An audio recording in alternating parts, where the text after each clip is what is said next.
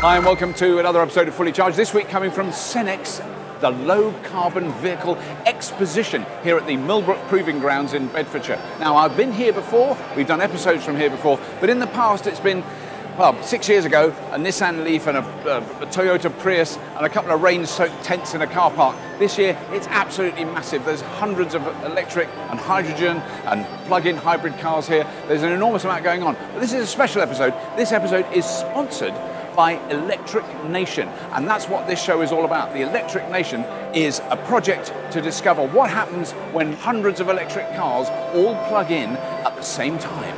So, Jill, this project is very exciting. Over the whole country, you're trying to get as many electric car drivers as possible to use the, the smart chargers. We are looking to recruit between 500 to 700 uh, electric vehicle drivers to take part in the Electric Nation trials um, we will be trialling a range of smart charging solutions. Right. So it's not just one particular make, it's different types? That's right, two types of smart charger provided by ICU and eVolt.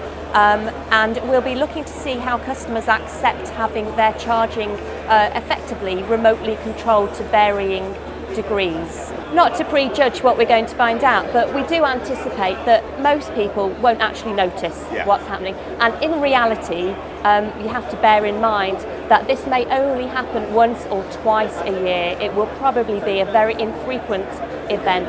And ultimately, it's all about making sure that our local electricity networks um, can facilitate the increased numbers of electric vehicles. So it's all about supporting more electric cars on our roads. The more uh, cars that you put in a single area, the more stress that you're going to put on. I mean, the network was never really designed no. to have so many things all in one place. It was designed for powering people's homes, for cooking. It wasn't originally designed for uh, transportation right. fuel as well. If there's a a couple of streets with 50 or 60 electric cars that are all plugged in at the same time when people come home at night. Things like time of use tariffs can, can help and to a certain extent the market will dictate when those tariffs are and will help alleviate some of the overall issues. But that local clustering effect um, probably still needs an element of either significant upgrade in an area or a bit of smart intelligence applying to it just to make sure that if um, the unexpected does happen, we suddenly get a lot of charging all at once, that we don't end up with an issue uh, on the mains. Because the last thing we want is for the lights to go out. We've all seen those graphs where there's this huge spike of demand in the evening and then it drops right off during the night. And one of the arguments I've heard from someone at the National Grid is if we, if there were a lot of electric cars charging at night, then that usage would, would level a bit. Yeah, yeah, yeah, it would. I mean, I mean, lots of modelling has been done into how consumers with cars may well decide decide to charge, um, and there's lots of different results. One of the things that is common is what one thing you do see, even with time of use tariffs, is a big increase uh, in that peak sort of tea time demand. Right. So post tea time when people come home from work, uh, and that's one of the things through the smart charging that we're we're proposing will just be a way of limiting uh, that peak uh, at those times and avoid oversizing the grid. Yes. Um, well, because ultimately, if we oversize it, yeah. so, you know, customers have to pay, and yeah, yeah. that doesn't feel feel feel right to us. No.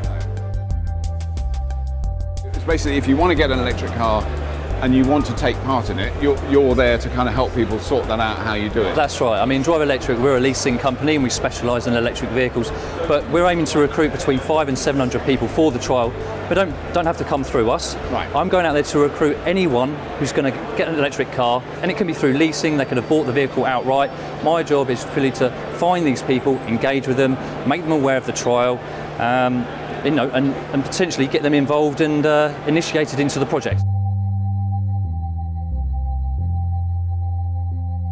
Carl, one of the things we know is that there's more people buying electric cars now than ever before. the market's growing, I think it's fair to say, and, and the, the one thing that is really obvious is the batteries are getting bigger generally, or the capacity is getting bigger. You're right, yeah, capacity is the key, range is the absolute Achilles heel to any electric car. I think we all know that. You've definitely seen sales go up then since you've we, have seen, the since the launch of the new car, we've seen significant demand um, increase, um, significant interest, both from those um, early rejectors, let's call them, who said actually 80 miles just simply isn't enough. Yeah. And we've also seen a lot of new customers who we haven't had contact with before saying, I've heard about the range, it now seems to be viable. I really like the idea about the tax incentives. I really like the idea about low cost motoring, um, and uh, yeah, really they are absolutely keen to uh, to move on with it. What we're looking at today is the, the, the, the other side of that is that battery capacities are going to increase that means we've got to have more electricity to fill those batteries, and that's right. really and, what and, we're looking and I think at. there is a little bit of a uh, of a worry with some people, particularly you know when you start talking to them in detail. But hang on a minute, what happens when everybody, or let's say I don't know, 25% of the motoring public are plugging in their car at a similar time? Are we going to see massive blackouts? Are the lights going to go out? Yeah. That sort of thing. And I think it is a key point that needs addressing. So, Andy, what is uh, becoming increasingly apparent to me is that there's there's a kind there's, it feels like there's a disconnect between the car manufacturers who are bringing out more and more cars with bigger and bigger batteries that can charge faster and faster, and the power companies and distribution network that are going, hang on, Absolutely. hang on, what's happening? Absolutely. I, I th- well, there's a there's a disconnect, but there's also a huge opportunity if we can join these two groups together.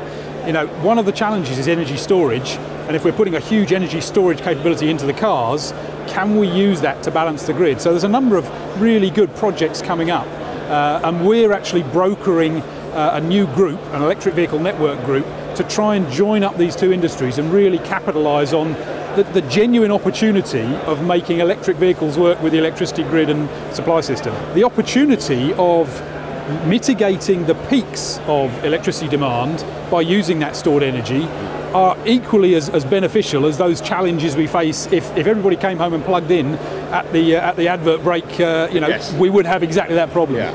So, I mean, so what you're talking about then is very much vehicle to grid, going both ways, communicating smartly, that whole development of that technology. Yeah, th- there's a number of different ways of going about it, and one of them is is managing the charging, the time of charging, and whether that's through signals about pricing. Uh, obviously, companies at the moment pay on a half-hourly basis, and they can pay, I think, five times as much for a kilowatt-hour of electricity at peak time as they do uh, overnight.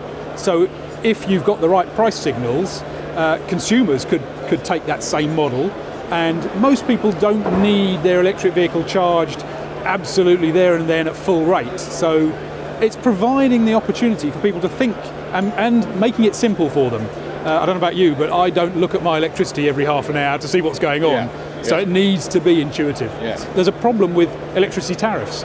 We're not allowed to have lots and lots of electricity tariffs because the perception was the market would be too complex. So that's one of the things holding back electricity supply companies in delivering creative tariffs. Right. Yes. Well, that's very interesting. So, so basically, what you're what you're trying to facilitate is the a really important discussion that we really, really need to have. Yeah, it's a discussion between the automotive industry, the electricity supply, generation and supply, but very much the distribution industry as well. I mean, the the the, the, the, the distribution network is one of the key elements that will really need to be um, applied and, and, and, and sophisticated more to enable uptake, huge uptake of electrification of transport. More people buying electric cars, one, and two, the, the, batteries are getting bigger. I mean, the Leaf is a very good example. The more cars there are, the more demand there is on the grid to charge them. where you can use the car to help the grid, so not actually be an extra demand, but actually plug them in so they can charge and discharge when they're needed. It actually makes it part of the solution, not part of the problem. So basically, with these units, you can come home, say you've taken the car out during the day, you went, it was 100% when you left, you come back, it's at 45%, for example.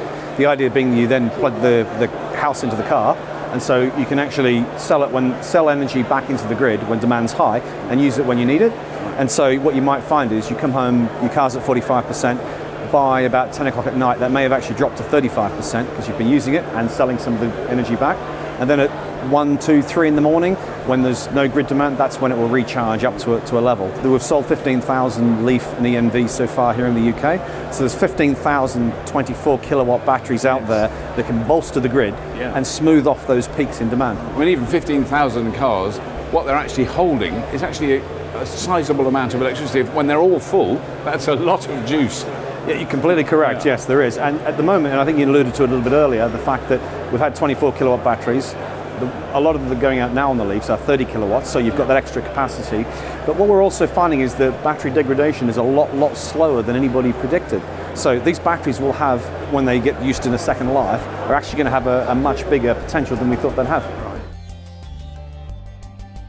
There are challenges, but there's also Yeah. opportunities as well. Um, certainly, with with smart uh, infrastructure, then you can moderate that demand as well. But there's also vehicle to grid as well. So uh, it's helping smooth demand, and also that fits in very well with uh, more renewable energy as well. So yes, there are challenges, but there's opportunities as well.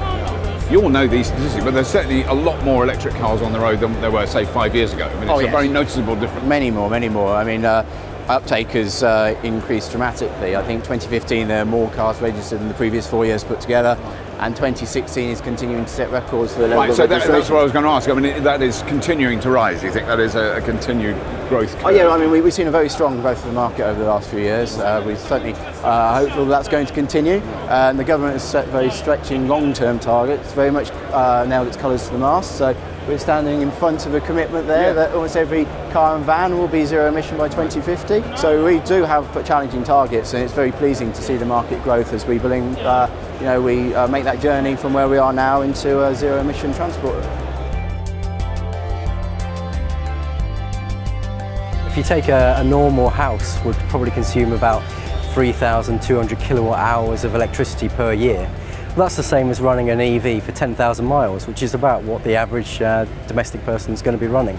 So it's effectively for every EV that we connect to the network, it's adding an extra house. It's an extra house. That's a really clear way of seeing it. I've never actually understood those figures before. Basically, if there were two million electric cars on the ha- uh, on the roads, it's the equivalent of having two million new homes, which is, which would be have an enormous impact. Exactly, exactly, yeah. But I suppose the one difference is that what, what a house does is just consume electricity, and what a car does up to a point is also store it as well as consume it. So that's a, that's the interesting picture that's emerging. Yeah, there. yeah. I mean, the flexibility that we could go and get from batteries is pretty immense uh, for the networks.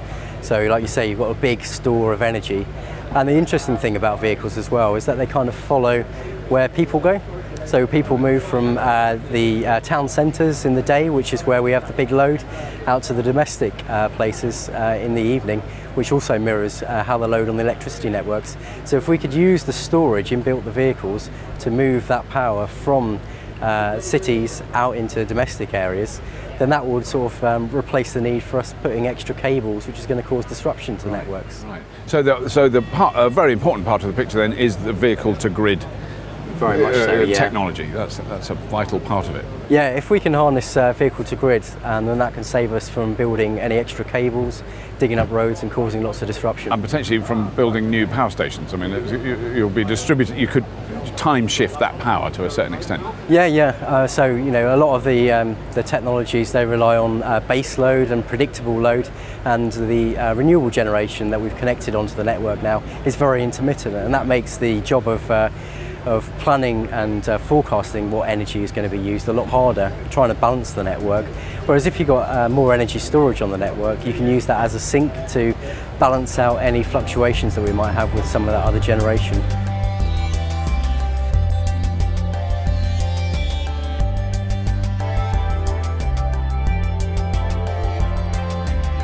So electrification can be great for the consumer, but it can be great for industry as well. And UK industry can really capitalise on those changes. Sort of it is what we're seeing here is that there are an enormous amount of, of companies from this country that are making amazing stuff. Definitely, and you know the, the UK is globally recognised as being a hub of innovation. You know, like we've got world-class universities, we've got world-class small companies developing truly, truly amazing technology, and you see many of that around here. here. Um, sometimes we challenge with taking that technology to market, and that's that's kind of why the Advanced Propulsion Centre exists. In its essence, we're about trying to accelerate that development of those great technologies and make sure we do commercialise them. You know, the government set an ambitious target.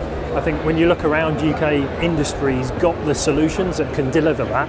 So it's about embracing that and being able to wrap it up in you know, compelling propositions that you can sell to consumers and, and make interesting product. And we've got all the right ingredients, so it's a great opportunity.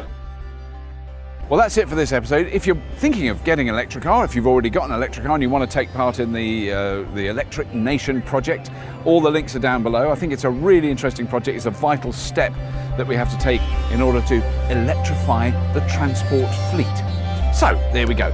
Obviously, have a quick look at the Patreon uh, page. Obviously, that doesn't fund this particular episode, but all the other episodes, it's vitally important for us. Please subscribe to Fully Charged, and of course, as usual, if you have been, thank you for watching.